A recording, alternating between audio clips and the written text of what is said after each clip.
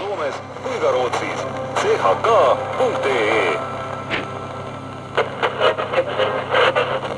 kuula Äripäeva raadiot Tartus sagedusel üheksakümmend seitse koma seitse megahertsi ja Pärnus sagedusel üheksakümmend üks koma üheksa megahertsi. sisuturundussaade. tervist ja tere kuulama sisuturunduse saadet, minu nimi on Hando Sinisalu ja täna on minu vestluskaaslaseks Lextali advokaat Rainer Ratnik.